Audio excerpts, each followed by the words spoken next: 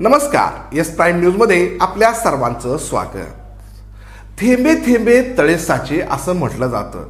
आणि गुन्हेगारी विश्वाचं देखील असंच आहे. थेंबा थेंबानेच गुन्हे वाढतात आणि त्याचा घडा भरला जातो. आणि त्यातूनच गुन्हेगारी विश्वात खुनाच्या घटना घडल्या जातात. अशीच खुनाची घटना चाकणमध्ये घडली असून एम आय डी सी परिसरामध्ये एका तरुणाचा भर रस्त्यामध्ये कोयत्याने वार करून त्याला संपवण्यात आलंय.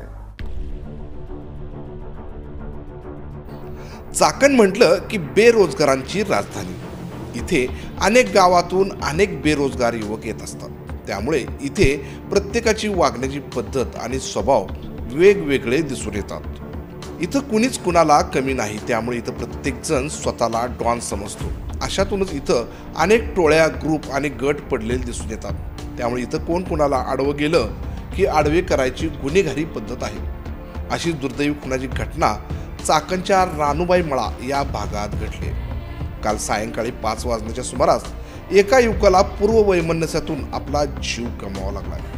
चाकण शहराच्या जवळील रानूबाईचा मळा भागातील जंबूकर वस्ती हद्दीत भर रस्त्यात कोयत्याने सपासप वार करत तरुणाचा खून करण्यात आला आहे आकाश बापू बनसुडे वय पंचवीस राहणार खराबवाडी जंबूकर वस्ती तालुका खेड जिल्हा पुणे.